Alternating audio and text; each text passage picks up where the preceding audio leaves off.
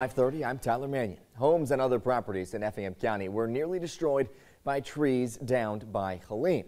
Many people left wondering where to even begin today as they start to assess the damage to their property all while going for power, going without power for days. Bronte Zaratsky shows us how the county is navigating the aftermath. But it hit us pretty good this time. Edward Louder Jr. tells me he's lived in this home in Guyton for 27 years. He's never seen a storm get this bad.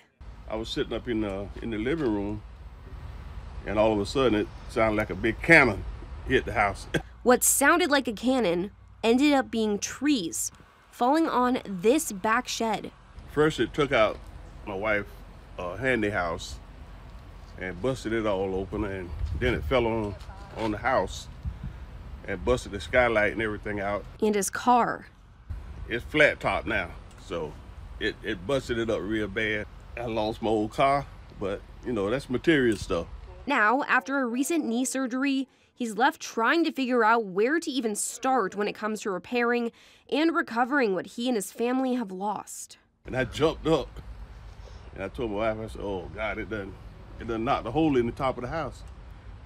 And you know, the tree's still there, so there's a lot got to be done. So. Effingham County is currently operating multiple water refill stations and cooling stations for anyone needing extra help.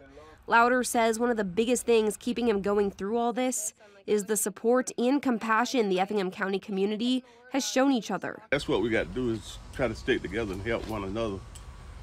Because most definitely we ain't going to be able to do it by ourselves. Reporting in Effingham County, Bronte Saratsky, WTOC News.